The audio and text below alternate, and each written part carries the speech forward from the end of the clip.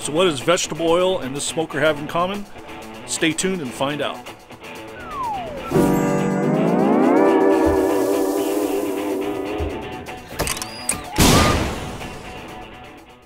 Hey, welcome back to the channel. Glad you could stop by.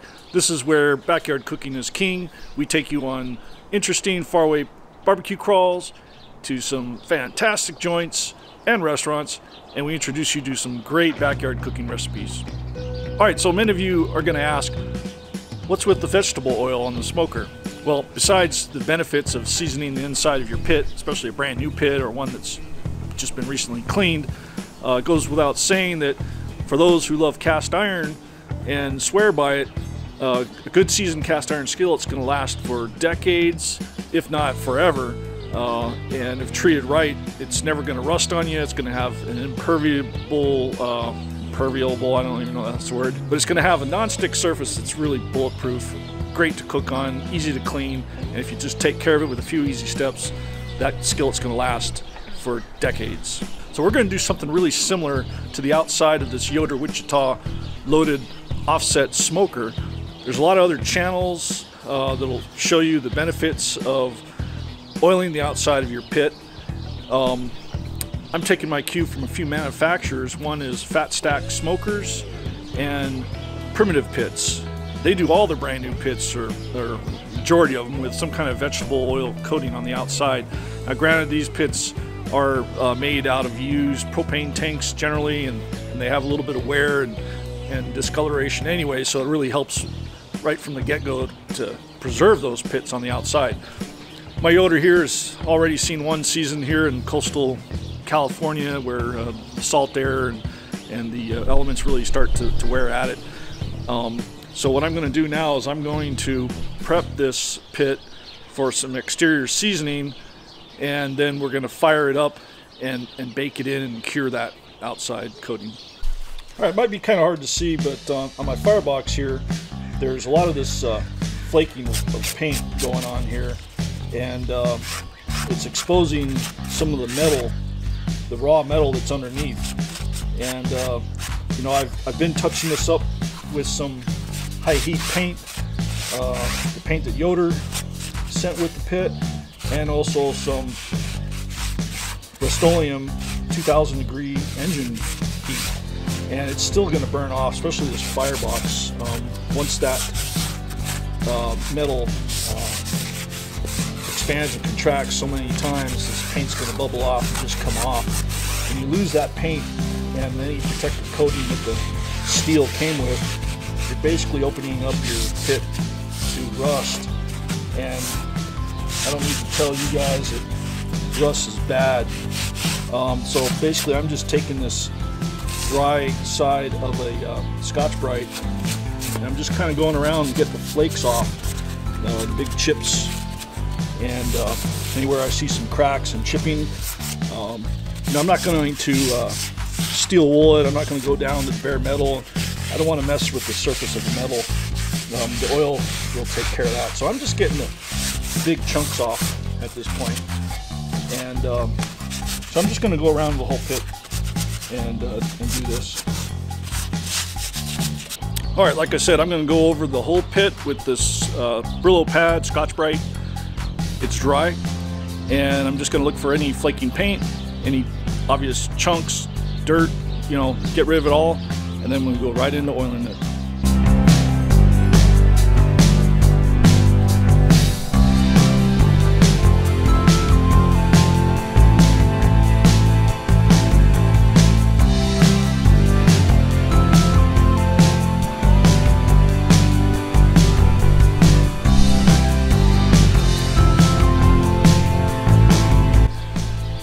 There we go, guys. Got a nice uh, even coating, uh, pretty much uh, all over the pit. Uh, went down the legs. Uh, pay close attention to underneath uh, both chambers. Um, all the welds, all the hinges, even the smokestack, even where the smokestack pivots. you want to definitely try to get that. Um, the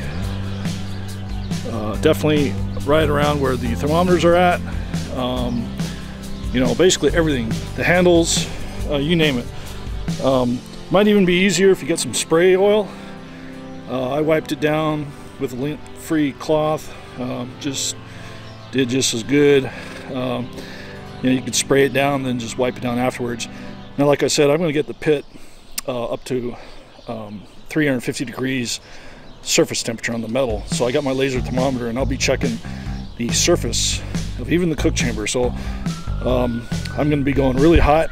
Um, I got my chimney over there, uh, somewhere over there, and I'm going to put the charcoal in there and then some logs.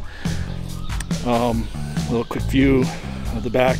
This is really where my problem area was, and I'm really expecting the uh, the oil to bond with the metal, uh, especially back here. But uh, again, I got all the legs, the back side, underneath, um, everything I could. Um, pay particular attention to underneath the fire chamber for sure.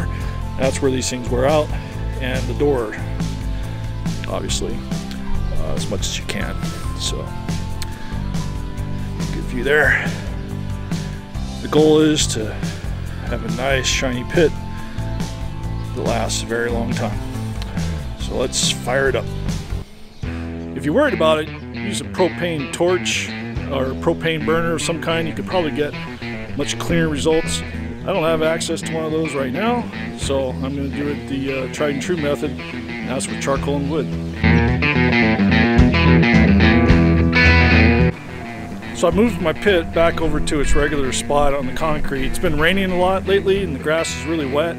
So while this thing is coming up to temperature, I'm going to hit all those nooks and crannies like the wheels and the stand and, and underneath and the uh, spokes and everything um, that I was basically just too lazy to get to while I was on the grass. And plus, it was kind of wet. So uh, pull it over on some uh, dry surface and uh, take care of the, the details. All right, see this uh, smoking going on right here? This is what you want to see.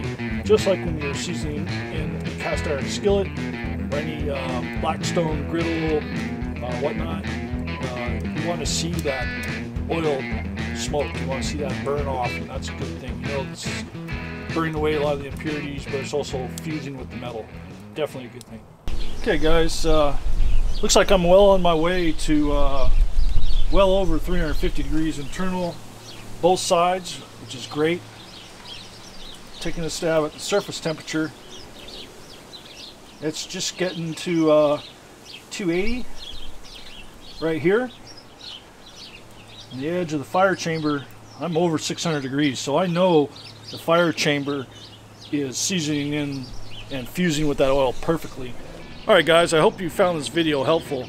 It may not be necessary to go 350 all across the smoker and every nook and cranny, but I think you kind of get the idea that the oil is going to really help prolong the life of your smoker. It's going to give it a great shine, and in time, it should give you that uh, beautiful finish that cast iron is so uh, known for. And if you look around the internet, you're going to see a lot of pit manufacturers that use vegetable oil or some other version of oil on their pits, usually the ones that are uh, made from propane tanks and have a little bit of uh, wear and tear on them already. So if you like this video, be sure to like and subscribe. It really helps uh, when you support the channel. And comment down below with your preservation tips on smokers. So I hope you found this tutorial of how to oil the outside of your Yoder Wichita loaded offset smoker useful. It obviously can apply to any outdoor grill that you have where you have a, a rust concern and you want to protect it and, and go for the long haul. So again, if you like our video, be sure to subscribe, tap that bell so you don't miss a thing, and we'll see you on the next one.